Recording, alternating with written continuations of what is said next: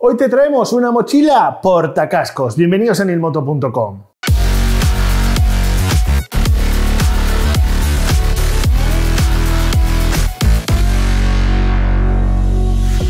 Antes de dar paso al vídeo, deciros que ya tenemos fecha para el tercer encuentro Nil Motero. Será el 11 de mayo en Puerto Lumbreras, Murcia, desde las 10 de la mañana. Este año tendremos la tienda abierta hasta las 2 del mediodía con unos descuentos increíbles. Y tranquilo, que todo lo que no puedas llevarte te lo mandamos a tu casa. Contaremos con la presencia de los motobloggers Bon Rider, Encinetti y Kiramoto para que puedas conocerlos y charlar con ellos. También habrá barra, comida, DJs y exhibición de Stun a cargo de Exhibiciones 666. ¿Te lo van a tener que contar o te vas a venir? ¡Te esperamos! Sigamos con el vídeo. Bien, pues hoy tenemos con nosotros la Ogio Match LH. Una mochila perfecta para el día a día, para ir a la oficina, para ir al instituto, a la universidad, para ir a hacer recados, para lo que se te antoje y que encima tiene portacascos para cuando nos bajamos de la moto. Ya os hemos enseñado varias mochilas de estas en el canal, pero es verdad que esta tiene una construcción muy especial, está muy por encima de la media. ¿eh? También es verdad que el precio está bastante por encima de la media. Pero es verdad que cuando la puedes ver en la foto, quizás en un catálogo, y ves el precio al lado, te puede parecer que es una mochila normal. Y es que de normal tiene bastante poco, ya te digo, en cuanto a construcción. Lo que va a hacer que tengas una mochila muchísimo más duradera de la media. Está construida en poliéster 600D, 600 deniers, como si de una chaqueta de moto se tratase. Así que va a ser muy resistente a la abrasión si tenemos un disgusto y sobre todo va a ser muy, pero que muy resistente al paso del tiempo. Imaginaros cuántos años os puede durar una chaqueta de cordura y ahora echad cuentas de cuánto te puede durar una mochila. Esta mochila puede ser directamente inmortal. En la parte frontal tenemos un termoformado de goma EVA que está por debajo del poliéster 600D, lo que le da una rigidez a la carcasa, vaya llena o vaya vacía. La mochila ahora mismo está completamente vacía y como podéis ver guarda la forma y sobre todo se queda de pie.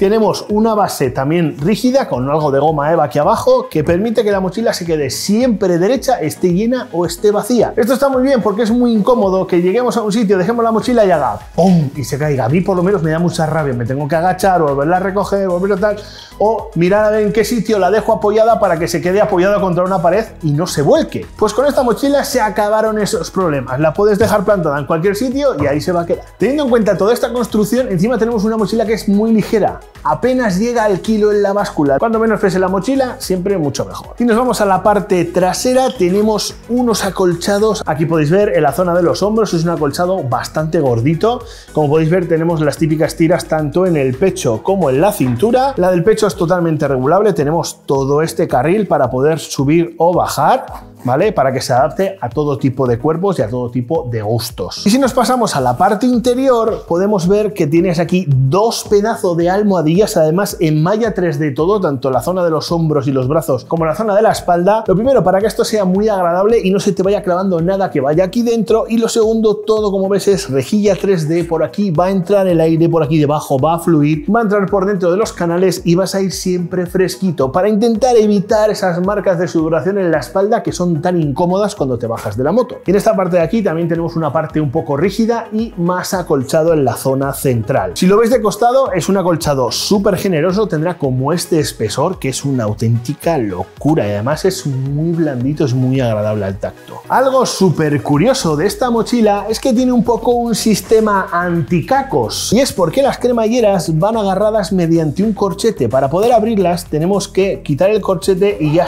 tenemos acceso a la cremallera tanto a la parte interior como a la parte de abajo donde va guardado el portacascos que ahora lo vamos a ver. De esta manera evitamos dos cosas. Lo primero, que nos labras y que nos demos cuenta porque el simple hecho de quitar el corchete ya va a hacer un ruido y nos vamos a dar cuenta. Y la segunda parte es que cuando vamos en marcha estas cremalleras no van dando vueltas no van haciendo así por la mochila, sino que van completamente sujetas y no se mueven con el aire. Si nos vamos a la parte interior tenemos una cremallera que recorre toda la mochila de lado a lado y ya tenemos acceso al hueco interior.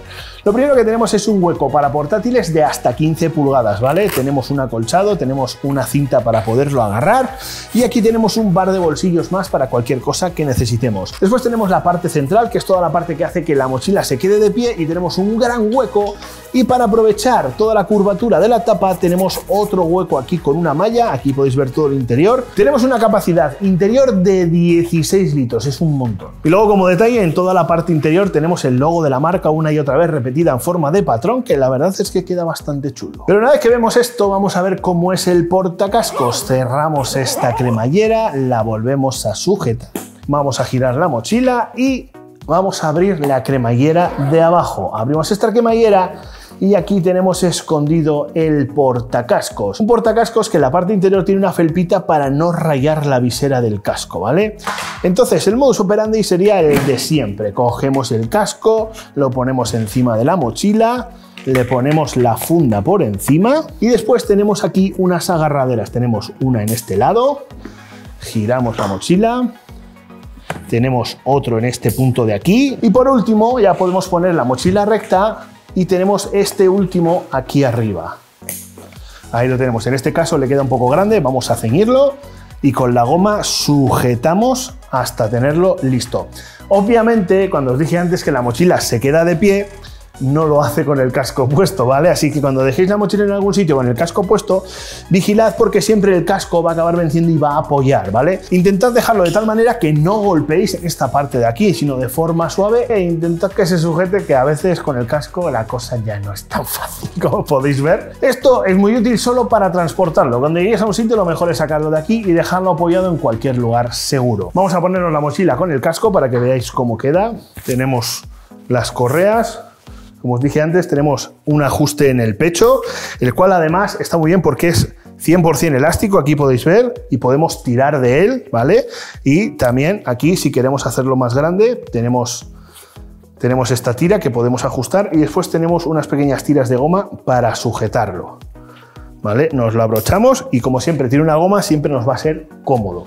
En la parte de la cintura, volvemos a lo mismo. Tenemos aquí una agarradera y una vez que nos la hemos puesto podemos tirar hasta ajustar y tenemos otras gomas aquí que nos lo van a sujetar. Y ahí podéis ver cómo queda la mochila puesta. Es verdad que en este caso la mochila está vacía y solo con el casco, pero bueno, creo que os puede servir de referencia para que veáis cómo queda. Como os dije antes, podemos variar esto en altura, ¿vale? Si lo queremos más arriba, depende de nuestros gustos, aquí en la parte de arriba, o si nos gusta ir más abajo o si no, un término medio. De tal manera que lo que tenemos que conseguir es que el peso de la mochila se acabe repartiendo entre los hombros, el pecho y la cintura. Y de esta manera sentiremos mucho menos el peso en el día a día. Os voy a dejar unas pequeñas escenas con la moto para que veáis qué tal.